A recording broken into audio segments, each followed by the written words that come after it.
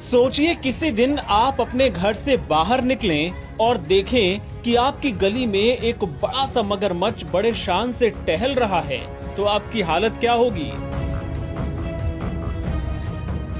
कर्नाटक के दांदेली के एक गाँव में ठीक यही हुआ। मगरमच्छ को अपनी गली में देखकर लोग दहशत में आ गए। लेकिन अच्छी बात यह रही कि ना तो लोगों ने मगरमच्छ को छेड़ा और ना ही मगरमच्छ ने किसी जानवर या इंसान पर हमला किया। आगे आगे मगरमच्छ चल रहा था और एक दूरी बनाकर पीछे पीछे लोग आ रहे थे। इस दौरान कई लोग वीडियो बना रहे थे। कुछ कुत्ते मगरमच्छ को देखकर भौंक रहे थे।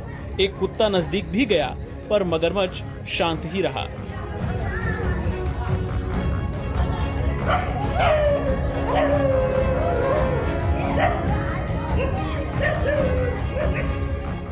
किसी पर अटैक नहीं किया, वरना एक झपट्टा मारकर मगरमच्छ कैसे शिकार करता है, ये तो सब जानते ही हैं।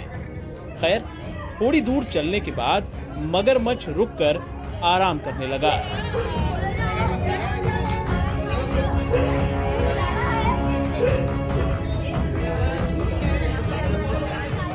इसके बाद लोगों ने वन विभाग को खबर दी और फिर मगरमच्छ को रेस्क्यू करा के वन विभाग के अफसरों ने काली नदी में छोड़ दिया। दरअसल, ये गाँव दांदेली वाइल्ड लाइफ सेंचुरी के पास है। शायद इसी वजह से आमतौर पर पानी में रहने वाला मगरमच्छ रास्ता भटक कर गाँव में चला आया। बहरहाल, इंसानों की गली में मगरमच्छ की ये वॉक सोशल मीडिया पर वायरल हो गई है।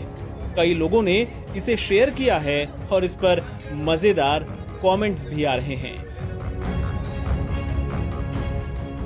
एनबीटी ऑनलाइन की रिपोर्ट।